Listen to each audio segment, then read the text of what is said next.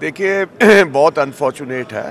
भगवंत मान एक पार्टी का प्रधान है और मैं समझता हूँ एक प्रधान को इस तरह की शब्दावली किसी के लिए नहीं इस्तेमाल करनी चाहिए।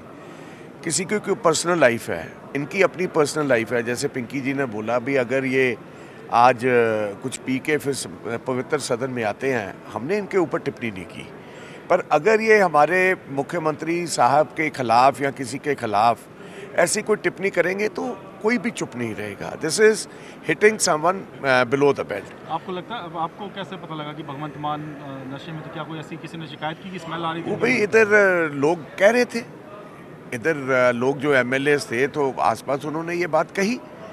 और ये देखिए ये इधर नहीं ये हर जगह पार्लियामेंट में भी होता है तो पार्लियामेंट में भी इनके ऊपर लोग इनका मुँह सूंघते फिरते हैं। ये इस आदत को इनको ठीक करना चाहिए और किसी के ऊपर इस तरह की गलत शब्दावली नहीं बरतनी चाहिए। अच्छा बाजवा साहब कल दिल्ली में काफ़ी वायलेंस हुई है एक तरफ़ अमेरिका के। तो क्या लगता है आप किस तरीके से इस पूरी घटना को देखते हैं जो दिल्ली में हुआ है?